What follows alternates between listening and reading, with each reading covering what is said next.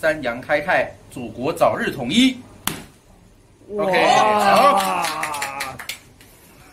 这个这个敲的好像有火气哦，好像有好像有意涵哦，有点意有所指，对，意有所指，邪歪道的敲敲敲。我不左右摇摆，只说真话。我要上下求索，走出正道。我是王炳忠，王炳忠来了。我刚刚在楼下说我的师傅来了啊，这没有没有没有没有。好来，耶！大家好，大家好，我们终于。我们终于见面了。我们是在日月潭吗？还是在哪里？这边很像日月潭吗？对，但是比日月潭大很多。你怎么可以出来了？呸呸呸呸呸呸呸呸呸！好感动，你说你知道你以前。不能出来，我们还直播好多次，为了你哪有？我说我我说我说韩国人半年前突然就不见了啊！我稍微奇怪，发生什么事了？怎么他突然离开了？离开台湾了？离开什么？离开什么？离开台湾了这样？对，有点。听说你那边定居啊？在定居吗？发展？我在这里组织那个反攻大业。哦，啊，对，今天在楼外楼，楼外楼楼外有含义啊。是，但是你会不会在楼外楼你就暖风熏得游人醉，所以就只把杭州当当汴州？对，所以我今天打算只喝柳橙汁，不然暖风熏得游人醉就那个了。对，为什么我们来大陆都要变成文绉绉了？啊，对，我们要要发扬文化，说看一下这个，带大家看一下那个所谓的这个日月潭，不是日月潭，是是西湖。对，来来来来看一下。哎呦哎呦哇！妈妈咪呀，美成这样哦！天哪，这是雷峰塔吗？还是什么？对，那应该是雷峰塔。对，应该是雷峰塔。现在是晚上快要七点钟，刚好是属于一个太阳快要下山，但是还没有下山的这个时候啊。所以这个不知道韩国人是不是暖风熏得游人醉了，所以呢就偏安了，好像忘记我们了。不会，对，已经抛弃我们了。我我绝对就是还是既挂念着 台湾，挂念着台湾，挂念着台湾的。对对，我们很开心今天在这可以看到比中，是，因为其实很感动，原因是因为我们之前都一起做直播，对，一起拍片嘛，然后那时候还在探讨你被他们。这个无情的迫害，对，然后出不来。对，我们哎，我们这样两年多嘞，两年多，两年多，从那时候从二零二零，从二零二零，然后我们当时就在讨论你不能出去嘛，对，然后很严格嘛，你只能在了不起去个金门，去个澎湖还要申请嘛，对，所以我们那时候就觉得，哎。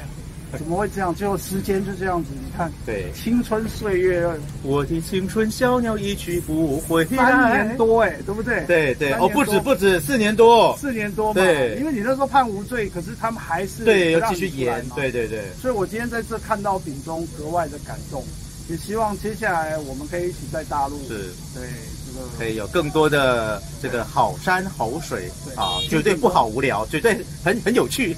听听李总讲课啦，好不好？不不不不敢当不敢当，我们这个山山水水就是课啊，所以也很高兴看到韩国人在这个杭州，对啊，最近也发展的不错啊，我看你发了很多视频啊。我们要学习岳飞的精神，对，我们要斩妖除，但是不能够像岳飞一样的下场。哦，对对，哎对，我们要要扭转，不是，对，我们要成为比岳飞更好的。是是更好的结局，我们是成功的，我们一定会胜利。我们当时打抱不平啊，哦，我就这次我也来到大陆是要完成你的遗志啊。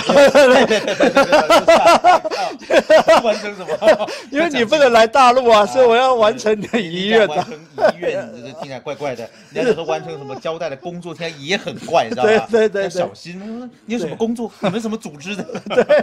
哎呦，我现在又怕会被抓回去。对对。没有，我真的很开心看到丙中原因。是因为真的经历过这四年多，丙中都不能离开台湾呐。嗯，基本上他最远只能去金门，然后看着厦门，真的也没办法，对，真的可以过去这样子。对对对。哎呀，好辛苦哦！从有疫情，从没疫情到有疫情。哎，我真的是度过，因为我大概已经四年多不能来大陆嘛。对。然后呢，前一半的时间呢是有点羡慕嫉妒恨。就看很多人可以到大陆去啊，什么就会很苦闷，有那种相对剥夺感。哦，对。但是后面半段的时间呢，大概从近两年左右的时间呢，开始觉得好像哎得到了一点一点这种安慰。对，反正我出不去，你们也出不去。那为什么？因为新冠呐。那时候丙中就有讲。今天啊，很开心遇到丙中，我们要问一个很重要的问题啊，哦，就我们双方都蛮好奇，就是双方，你四年多没有来到大陆吗？嗯，对，你觉得大陆你这次来了，尤其你一下飞机就是北京。哦，我是还没去过北京哦。你到现在都没有去过北京啊？对，我还真没去过北京。我是从上海浦东进来的。对，对我那时候在那隔离，还跨年。还跨年哦，还过圣诞节，全部都。你来多久了？半年以上嘞。对，我还真的没有想要为了丙中的遗愿呢，对，来了蛮久。没有啦，今天想要问丙中，你这四年多，你当时嗯最后来的时候是什么时候？最后来的时候是二零一八年的春。哇，太久了吧？这四年前，真的是四年前，整整四年。好，这个太好，我们来来问问看丙中，你觉得大陆整体在这四年你来看有什么样的变化？嗯，我觉得当然疫情还是带来了很大的一个改变嘛。对，那疫情的改变，我觉得大家对中国模式的自信心比四年前更强。嗯哼，因为疫情很明确让大家发现到说，哎，原来搞了半天，西方人一直讲说他的制度是最进步的，对，最照顾人权的。哈，最所谓民主自由的，就搞了半天，原来你们是根本不能保障一般人的健康。你比如说，在美国，在欧美，我们现在看到疫情严重到最后，基本上就是你有钱有势的人，你就可以相对比较度过。如果你条件比较差的，你刚好不幸啊中中奖了，呃，那你抵抗力比较差，或者是老人家，你就优先要被牺牲。对，这个是在。这呃，我觉得四年来，因为疫情的关系，尤其后面这两年疫情爆发，对我感觉到大陆普遍的人对于中国模式的自信心，比我四年前来的时候更强，更相信说，哎，我们真的可以走出我们自己的一条道路来。对，而且你好像在大陆打疫苗嘛，对不对？对，我在大陆打疫苗，打国药科兴。打国药，哎，其实你这样选择是对的，因为像。我们说西方的疫苗，我后来才慢慢去了解，原来它是有可能会改变基因。是是是是，我就是因为这样说我没有打嘛，因为在台湾我们可以打得到的，要么是台湾号称台产的这个叫做所谓的高端，对不对？高端人士才能打，到现在都还不知道防御力，就是要上上云端打高端嘛。那那那要不然你能够打的就什么？就是你刚刚讲的，叫做蛋白质重组，对，基因重组，基因重组。那我们看到洋人欧美的疫苗里，什么 A Z 也好啦，莫德纳啦，还有一般大家认为说可能好一点的 B N T，它都还是蛋白质重组疫苗，对，就改变基因。那所以，我我对这个我是有一定的质疑的。我觉得改变基因不是我们传统从小打的疫苗都是灭活技术，对，所以我一直就是希望能够打到我们自己对中国人研发的灭活技术的疫苗，但是一直来不了大陆。所以我就最后就是选择都都不都没有打。你在台湾？我在台湾完全没有打任何一剂疫苗。哎，然后我好险，就是因为我的工作是相对可以不出门。对。啊，我们自媒体嘛，自媒体我相对可以说透过录影啊、直播，我不见得要每天上下班要去挤公车。对。但是很多人没办法，或者是他的工作规定，他一定得打。对。所以很多台湾人等于被迫，对，他就要去打。他可能自己都觉得有点怪，因为我我有个中医师的朋友跟我讲说。你想想看嘛，这个疫苗会打死人的，怎么会是正常的疫苗？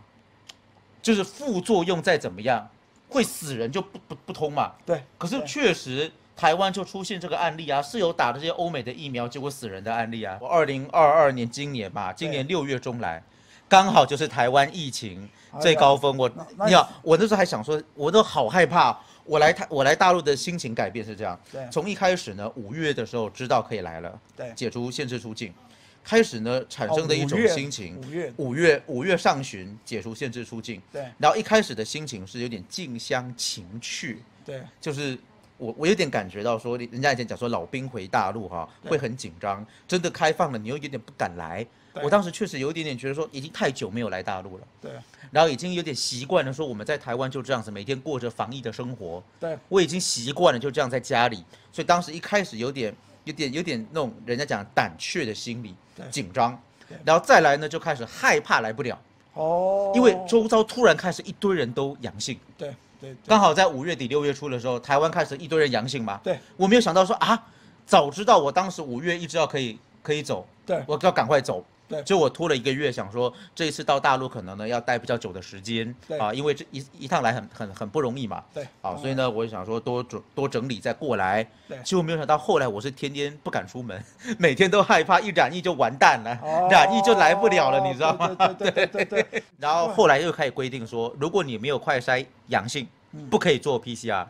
就你自己想要做核酸还不可以哦，这很荒谬。对，不可以哦。台湾规定是你没有快筛阳性，对，你就不可以做核酸。然后那个时候还鼓励大家不要能不做就不要做。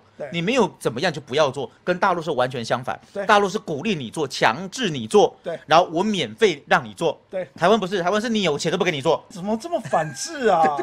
然后现在这个我们刚刚讲的这个，当时我们说他是政客的这个指挥中心的那个那个指挥官石台石台石台兄，现在还有脸去选市长，这也是个很奇葩的台湾的民主政治，我就觉得莫名其妙。对，竟然他现在变台北市长候选人，而且大家好像也也觉得台湾的氛围好像觉得也也就这样子。对呀对呀，好像没有觉得很严重。日本交流协会台在台的那个协会当时有办一个安倍的追思。对。谁有去？陈石台啊，他们那时候不是抢着要去比赛嘛？比赛谁有去吗？你知道很多新闻下面留言都说：“那请问新冠死掉的人，你有？你怎么不去鞠躬啊？你有没有挨家挨户对对对对对。哎，如果我是他，我应该先把这个八千多个人先跑完。你不要讲，台湾死了八千多人，有江半旗吗？哦，什么这个领导级的团队要帮陈石台？哦，我真的拿着呕吐袋。哦，现在还这样在写啊？我已经太久离开台湾，我都没有看那些。那些造成政治的东西了，你不觉得你一回来大陆就安静很多？对对对对对，我就我就突然发现说，原来我的人生有这么多宝贵的光阴。对，我跟我的好兄弟韩国人聊天，都不用每天追逐说范云做谁的助选人，那让我觉得人生有意义。对啊，为什么要理说谁谁帮谁选？而且你今 天也来到西湖，也来到灵隐寺嘛？对对对对，看着这个历史的这些建筑，然后沉淀心灵。没错没错没错。你看大陆真的会让我们那么吸引大家，原因是因为我真的我走到哪里就是一个历史，整个打开，就像我们在天津也是。我们在天津走过啊，当年溥仪啊所住过的静园啊，这个看到这个利顺德大饭店，当年孙中山先生、袁世凯先生啊、张学良、赵四小姐，全部都是清末民初响当当的人物。他们走过哪些地方，让你就去思考说，当年啊这些人他们到。这个天津准备进北京，对对对，那他们在谈的是南北议和，有没有可能透过和平谈判的方法让这个中国统一？但是最后仍然失败，所以有了北伐。这些历史只是离我们才大概百年左右的时间，对，都是近代史。对对对，那我们走走这个过程的时候，你就会突然就会觉得说，台湾这些有的没有的事情，它其实非常的渺小。很很欢迎你回到家。对，真的怎么变主人了？有没有？明明是明明是你一九九几年就来过大陆了，我都还没有来过，我都还没有那么早来过。